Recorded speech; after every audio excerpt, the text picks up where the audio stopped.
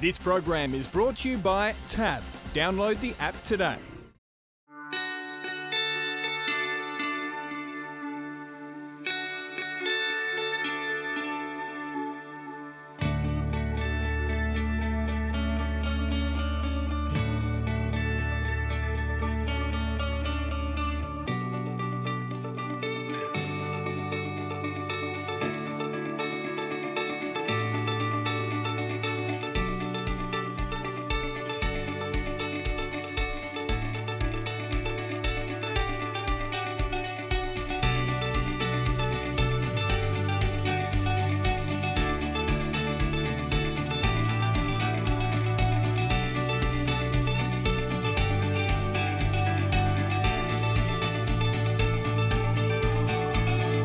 Hello, I'm Caroline Searcy. Welcome to the final Thoroughbreds Are Go for this series. Coming up, we look at the latest work by Racing Victoria's off the track program, including the recent Equitana and show jumping championships in Victoria, featuring loads of well known retired racehorses and retrainers. And Inglis, Australia's historic thoroughbred sales company, sponsoring some wonderful off track competitions for thoroughbreds, including the exciting teams event at the Thoroughbred Sport Horse Association's National Championships. And another great example of thoroughbred love that stretches beyond the racetrack in Arrowfield Studs Strappers Stories. That's all coming up on Thoroughbreds Are Go.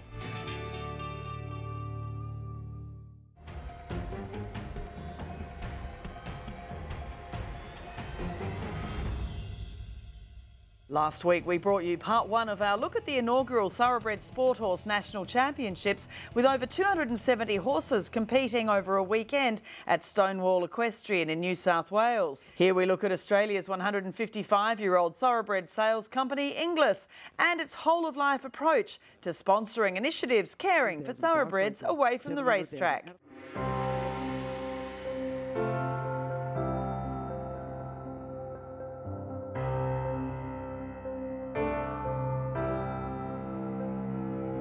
Six hundred down, double down, going to be 600. Come on, come on, stick with him by Franklin.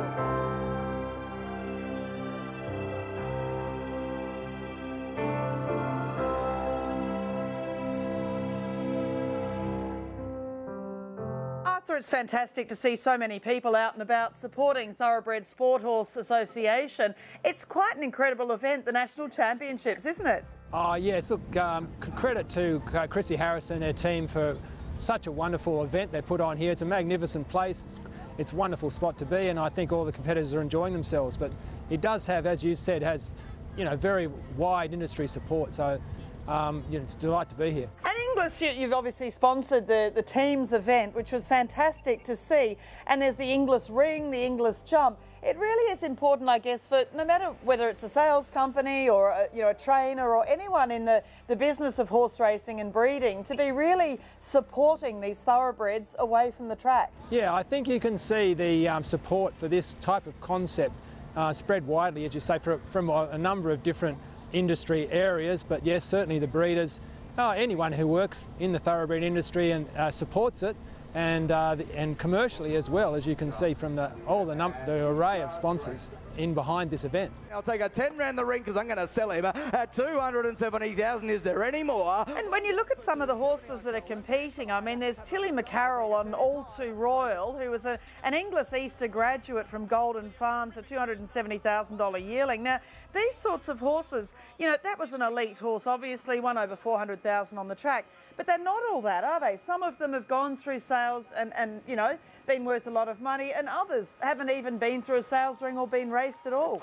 No, that's a, that's a wonderful thing about it. It's open to all, and, and yes, there are some of these former stars that are starring in this, but uh, some of them have had uh, quite a modest, uh, let's say, career in the uh, in the racing world. There's plenty of opportunity for them ahead. William Hodgkiss, he has a, a Horse Verity's Boy or Night Flash is by Nakupe Pa, and I, I find it quite fascinating seeing the different sire lines, the different, you know, female pedigrees involved in these horses as well. I mean, there's not one particular type that's necessarily throwing the best show jumpers or the best dressage horses, are they? Yes, well, that's right. I can't talk too much about the dressage world, but I know uh, a fair bit about the show jump world, and and as you probably agree, there's no there's no uh, obvious show jumper. You have to try them all and see how they go. And like you say, they can be any shape and size and buy out, anything out of anything at uh, uh, largely temperament, intelligence and their application to it and of course the uh, skills of the rider and educator. And speaking of the educator, I mean, you see through your Inglis sales the enormous dedication and care of all the, the thoroughbred studs and the staff. And, you know, we see tears sometimes when their favourite yearling is sold and leaves the, the stud they work at. But that early education, I mean, that is all part of what makes these horses so tractable for these sorts of competitions after racing. Absolutely, absolutely, and, and we've seen it more in my life uh, over the years, how, how well, as you say, and professionally horses are handled from basically from foal. And uh, that no doubt, no doubt makes them more suitable for this type of competition. I'm not just speaking about show jumping, of course, but all the other things that thoroughbreds are well suited to. And as you mentioned, some of the sponsors, I mean, John Singleton and Strawberry Hill Stud obviously is the major sponsor for this competition. And, and it really is important, I guess, to get that message out to anybody involved in racing and breeding, just to put a little bit in or a lot. And it really makes a difference as far as the prize money for people who, a lot of these people have travelled quite some way and they're there for, you know, three or four days to compete. I feel sure the common denominator is the love of the horse and the wish to see that they have a whole of life experience and they are looked after um, after racing, which is which is the key of all of this. And and thanks, as I said before, to Chrissy and Harris and, and her team for leading the way with this. And everyone else for supporting. So I believe there's really a role for the quiet thoroughbred that's come off the track. Um, usually they've been exposed to so many things. Um, they've been, you know, racing and they've been handled and stabled. They've been taken to many places on and off trucks. They're so well educated that they are really fantastic horses. If the temperament is right for a young child, they are match made in heaven. You know, they're quiet, they're tractable, they're trainable, and they're dependable. And they're often a lot better than other breeds like the Welsh or, you know, breeds that have actually traditionally been bred for children. The thoroughbred, uh, I bought several recently to go into Centennial Park, for instance. Children, novice children, you know, 11 to 14 that want that horse that can do everything. It's amazing how adaptable they are if their temperament suits a child. What do you look for in a thoroughbred? What are some of the, the things you think, you know, if someone, a young person is looking for a thoroughbred, what do they need to know about the breed? Uh, they need to know that they are, you know, once you've got the temperament right, you know, once they're quiet enough and they've often, if they, they've come off the track and they've been with a professional rider for a couple of years, they have been so well trained, they've been exposed to everything. They might have done a little bit of dressage, a little bit of eventing, a little bit of show jumping by that stage, they're absolutely dependable and reliable for a younger novice rider uh, because they're usually just so well exposed to everything. You know, there are different temperaments on thoroughbreds. Some might jump up to be top level eventers, some might end up top dressage horses or show horses, but there's another, there's another category in between, which is a quiet, wonderful horse that might jump up to a metre and do up to elementary dressage that really suits that young child market. Really, really useful in that sort of um, 13 or maybe 11 to 15 year old child bracket. The incentive that Chrissy has begun is actually letting us look at thoroughbreds again. And the more we look at them and the more professional riders think about, you know, opportunities that thoroughbreds can present to them with, with the incentives that Chrissy set up, the more we're going to rediscover the really talented ones that, you know, could take riders all the way to the top.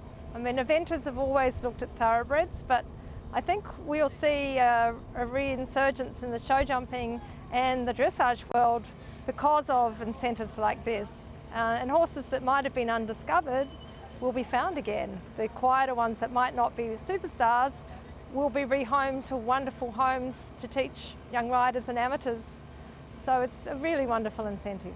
It would be my dream and, uh, for it to all come together under one umbrella, but realistically, that's not really what the whole equestrian world is anyway. Uh, yes, we have Equestrian Australia, but as you go from state to state, there's different bodies manage different elements of horse sport. So probably that, if it is manageable, is a long way off. But in the meantime, uh, it would be great to see from the from the industry, from the thoroughbred industry, to have some guidance around an industry budget for this type of event. There's a lot of intelligence behind a thoroughbred and that's probably what makes them so thoughtful with the riders you put on them. If they're well educated, they're actually able to think through the person who's on board and offer what that person needs with quite a lot of kindness and that really is an amazing attribute to the breed because other breeds, an Arab very, very sensitive and, and hot can be very difficult for a lot of riders. The same with a Welsh. Uh, warm bloods can be too complicated and too much horse, where a thoroughbred really does seem to think through who's on board and that's an amazing attribute. And it's obviously growing. I mean, what Chrissy and the, the team there at Thoroughbred Sport Horse have done and, and everyone else doing similar competitions, there really does feel like there's a massive groundswell of support and, of course, more interest in how we treat our thoroughbreds away from racing. It just seems to be getting bigger and bigger. Yeah, very true to say, and, and long may it continue. You're, you're right. Uh, it, I've, I've observed it growing the support for it growing and, and the number of horses competing and so forth and the quality of competition continues to grow so long may it thrive. What she's done with the six bar, she set a world record now for thoroughbreds in a six bar at a metre 75, which is an incredible height. And when that starts to get out, will we see America, will we see England putting on thoroughbred only six bars challenges and shows like this, Chrissy might revolutionise the world and refocus our interest on the thoroughbred and its usefulness after racing. Oh,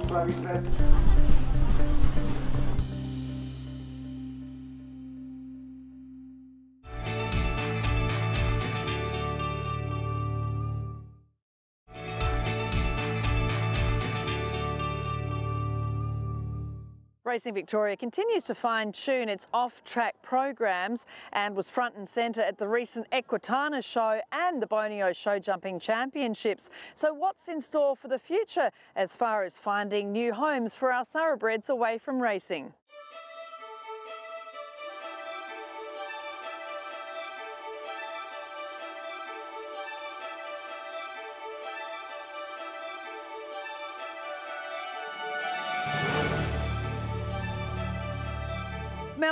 Incredible, isn't it? The off-the-track program from Racing Victoria. It's it's 10 years now that you've been operating and you've made some wonderful achievements helping thoroughbreds away from racing. Yes, Caroline. It seems incredible that uh, Off the Track is actually celebrating 10 years in 2022.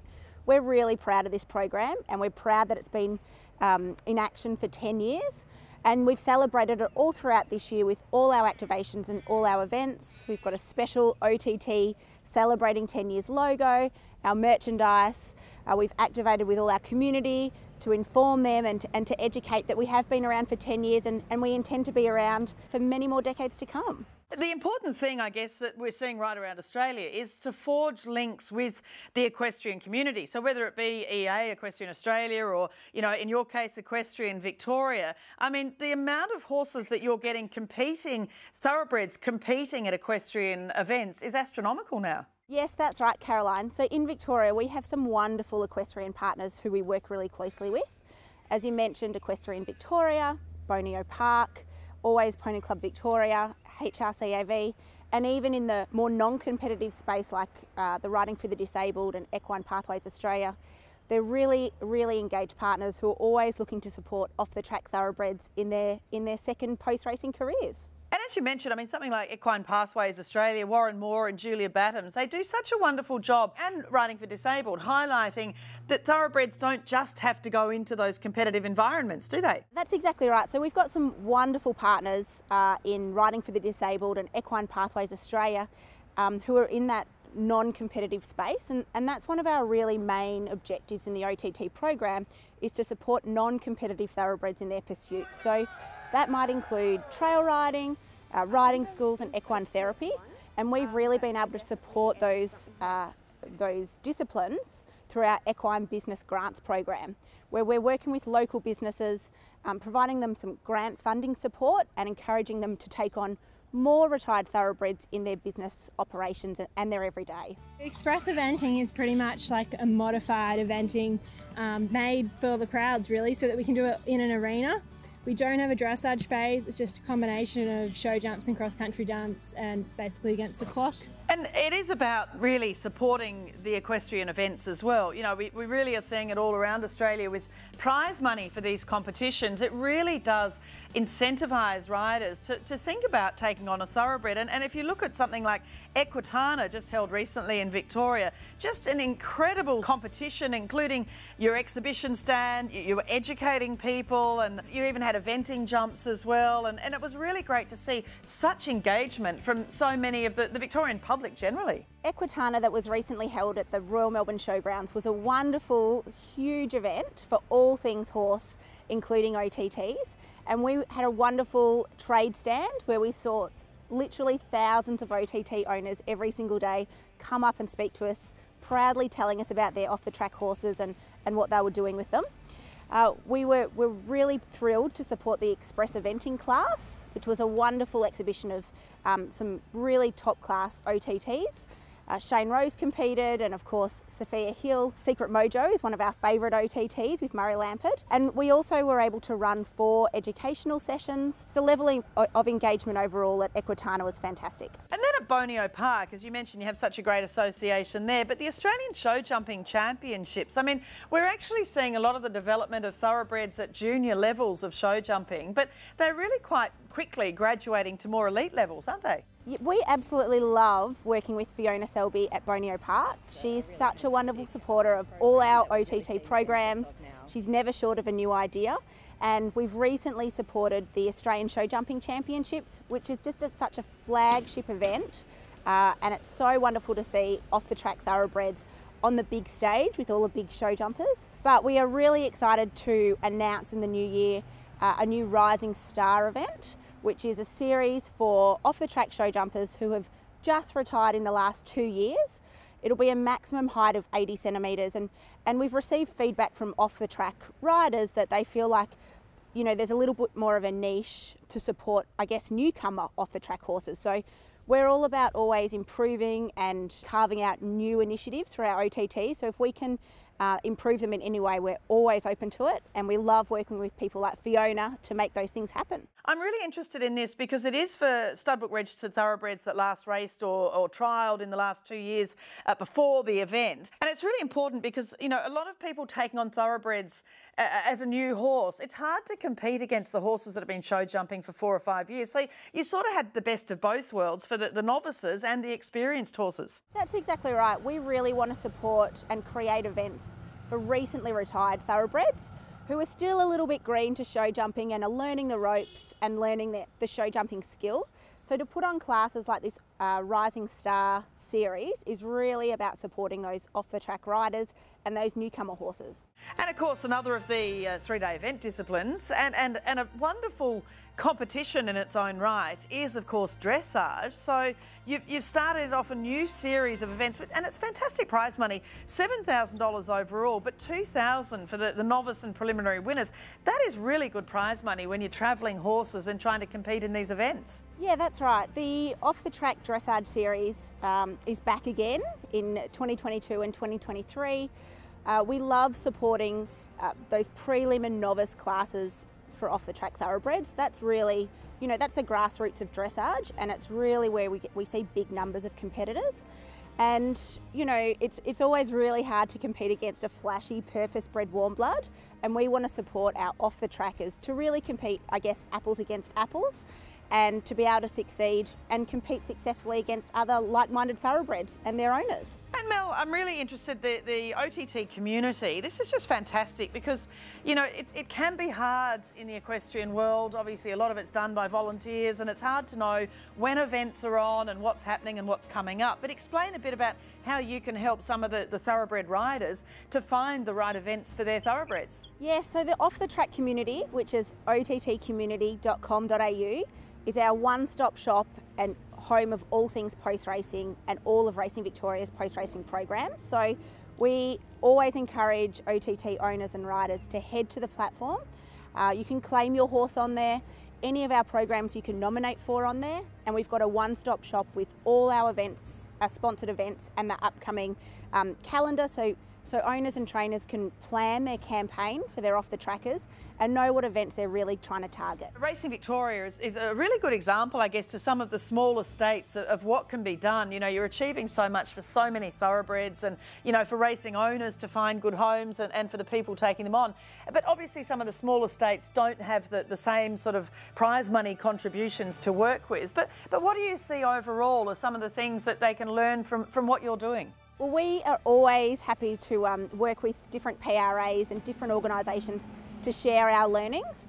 We, we don't always get it right in the first instance, but we're always trying to improve and, and build on what we've done previously. What I do know is there are a lot of people out there who are super passionate about welfare and retired racehorses and, and post-racing careers, whether that be different equestrian organisations or retrainers uh, or just experienced horse people. So my advice would be to work really closely with them, uh, to tap into their knowledge and just to see what you can build on uh, collectively towards a really great goal and a, and a great cause you know, it is about the optics. It's about actually physically doing something for thoroughbreds, but it is also about how it comes across to people. You know, the anti-racing brigade. We saw uh, Kick Up for Racing started through the Melbourne Cup Carnival just to try and have some facts and figures to give back to people. You know, when they're when they're criticising the industry and and and the promotions that you do and being so visible. It is so important, isn't it? It is. It's really important. The work that um, the off the track community does in providing really wonderful post racing careers is something that we always need to communicate and tell the wider public about. Uh, at Racing Victoria alone, we have a network of over 50 acknowledged retrainers, and collectively they retrain over 500 horses a year, uh, which we always think is a really great number. We've always got room to grow, but it's so many horses getting such a great start once they retire from racing and, and heading into their next career.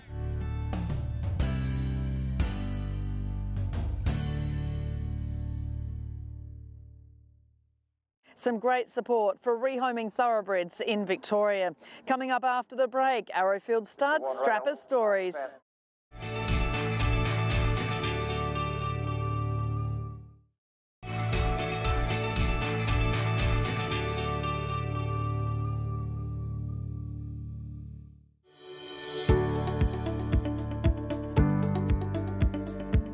Just such a beautiful, quiet horse um, at the track and such a, a lovely type. Um, everyone comments on him now, what a beautiful, what a beautiful type of horse he is. So, and his temperament, that drew me to him. He was just not a top top level racehorse and he was quite lightly raced for his age. He retired sound, luckily. Um, his owners just decided that his heart wasn't in it anymore and luckily Toby recommended that he just be retired, not sold on. Um, so I was lucky enough to take him five years ago last week. Um, he was a bit of a late birthday present actually, so it's pretty good. He's just taken to jumping so well and he's jumped fantastically the first two days here at Stonewall. It's really nice the European blood in him. Um, I think that is a lot of the reason why he's such a beautiful type of horse, so well bred. And he has a lot of scope. He's got a great style over the jumps. Um, he is a bit quirky, like he's very horse shy and very shy of everything in the warm-up. Um, but once he gets in the ring, he's, he's really professional and he makes a beautiful shape over the jumps.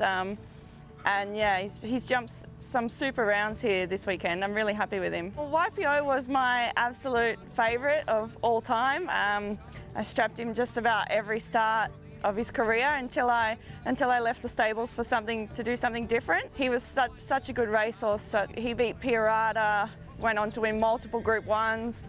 He raced at Magic Millions three-year-old guineas out to 1400 metres, which he was probably at his top at 1200. Um, he was just such a great horse. He had a few soundness issues. He got to the point in his racing career where he wasn't able to race at the top level and he wasn't suited to be sold on somewhere else. And I'm really grateful to his owners to allowing him to retire with me. And One Inch Punch has already had a pretty successful career, but he's definitely got a bit more to go.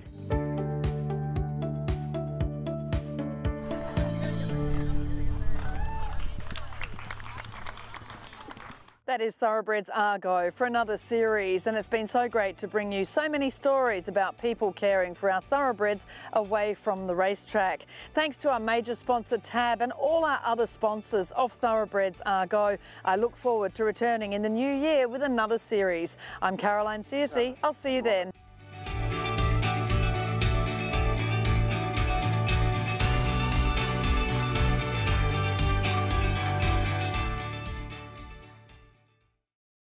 This program is brought to you by Tab. Download the app today.